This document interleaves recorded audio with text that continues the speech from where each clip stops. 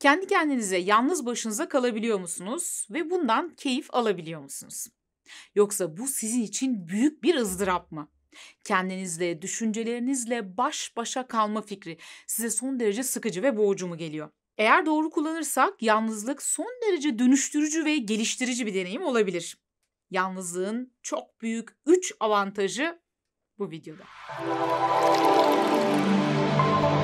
Yüz binlerce yıldır keşişler, rahipler, sufiler yalnız kalarak, inzivaya çekilerek kendi iç dünyalarına dönmüş, dış dünyadan uzaklaşarak kendi içlerinde çok daha zengin bir dünyanın kapılarını aralamışlar ve ruhsal olarak olgunlaşmışlardır. Örneğin tasavvufta ruh disiplini ve nefs terbiyesi için kişi kendi iç hesaplaşmasını yapmak üzere 40 gün boyunca çilehane denilen sessiz ve ıssız bir köşeye ya da bir odaya kendini kapatır. Benzer şekilde Budizm'de de inzivaya çekilme uygulamaları vardır. Farklı kültürlerde farklı insanlar bir aydınlanma, farkındalık, ruhu terbiye yolu olarak yalnız kalmayı, inzivaya çekilmeyi, kendi içine dönmeyi, dış dünyadan soyutlanmayı bir araç olarak kullanıyor.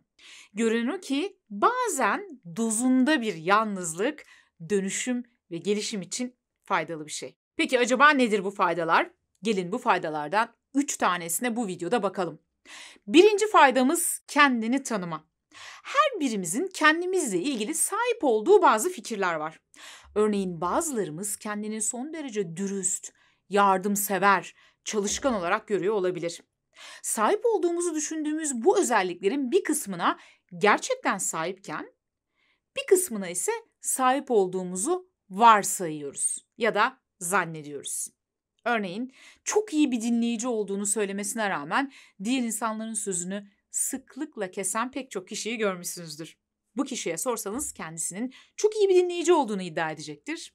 Ama gerçekte öyle değildir. Aynı şekilde kötü olduğunu düşündüğümüz için bende kesinlikle öyle özellikler olmaz dediğimiz o özelliklerin çoğuna da sahibiz.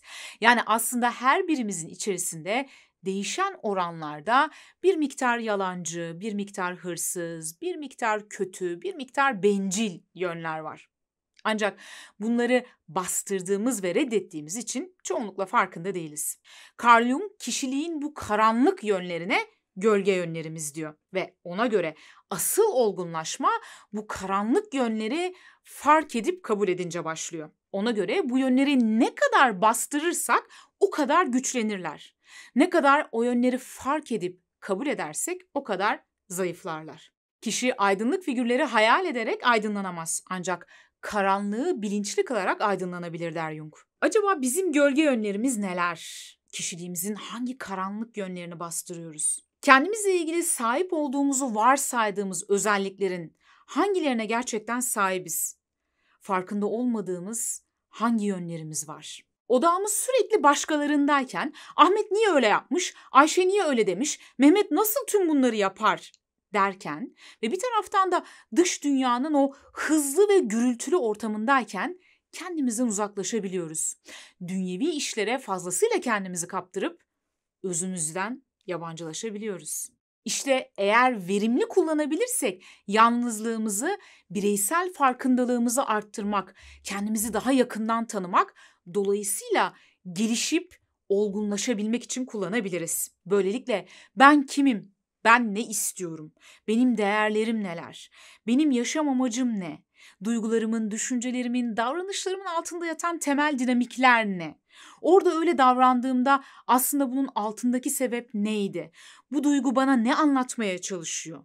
Karanlık yönlerim neler gibi pek çok sorunun cevabını düşünmeye ve bu soruların cevaplarıyla ilgili çalışmaya fırsat bulabiliriz. Yalnız kaldığınız vakitlerde kendinizi daha yakından tanımak ve bireysel farkındalığınızı arttırabilmenize yardımcı olacak çok sayıda video kanalımda mevcut. Kendini tanıma ve bireysel farkındalık başlıklı oynatma listesinden bu videolara ulaşabilirsiniz. Linkini yorumlara ve açıklama kısmına bırakacağım. İçinde yetiştiğimiz aile, ülke, toplum ve sosyal medya tarafından sürekli olarak bize empoze edilen bazı bakış açıları, bazı yaklaşımlar, bazı değerler var. Bunların bir kısmı pozitifken bir kısmı ise son derece toksik yani zehirli olabiliyor. Örneğin sürekli bu toksik mesajlara maruz kalmış olan bir kişi kendini toplum ya da sosyal medya tarafından dayatılan değerler çerçevesinde değerlendirip özgüvenini kaybedebilir. Ya da tam tersi diğer insanlarla ilgili olarak örneğin belli gruplara ait kendinden farklı dinde belki kendinden farklı görüşteki bazı insanlara karşı ön yargılar geliştirebilir. İnsanların diğerlerini ırkına, milliyetine, dinine, yaşama şekline göre yargılaması çoğu zaman öğrenilen şeylerdir. Farkında olmadan ve mantığını sorgulamadan otomatik olarak bize dayatılan bu fikirleri kabul ederiz, benimseriz. Ve sanki bu ikinci el fikirler bizim kendi öz fikirlerimizmiş gibi adeta bir papağan gibi etrafa bu fikirleri tekrar ederiz.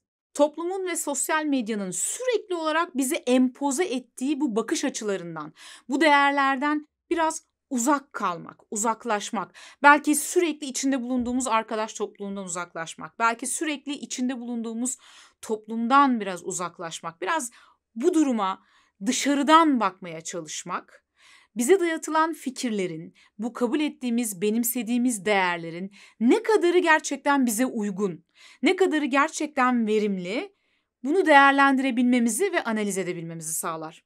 Böylelikle daha verimsiz olan bir takım ideolojileri, bir takım yaklaşımları fark edip bunları değiştirebiliriz. Ergenlik ve ilk gençlik yıllarımda benim için başarının göstergesi çevrenin genişliği ve sosyallikti. Ne kadar çok arkadaşım varsa o kadar başarılısın demektir. Kendi kendime ve yalnız kalmak benim için korkunç bir şeydi. Asla tahammül edemiyordum. Ancak yaşım ilerledikçe şunu görmeye başladım ki gerçek başarı kişinin kendi kendine tahammül edebilmesi, kendi kendineyken de mutlu olabilmesi, kendi kendine yetebilmesi mutlu olmak için diğerlerine ille de ihtiyaç duymaması.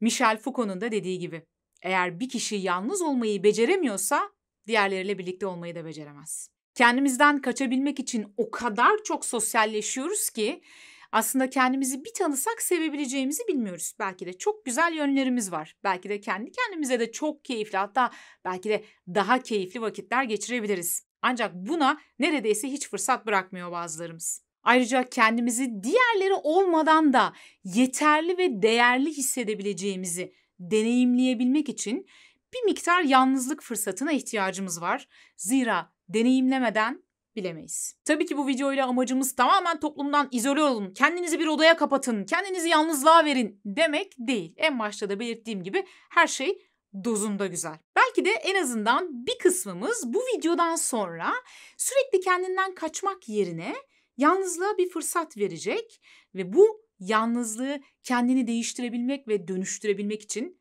bir fırsat olarak kullanacak. Kişisel gelişim ve psikolojiye dair bu kanalda her hafta iki tane yepyeni video paylaşıyoruz. Eğer bu videolardan haberdar olmak istiyorsanız kanala abone olmayı ve tüm bildirim zillerini açmayı unutmayın.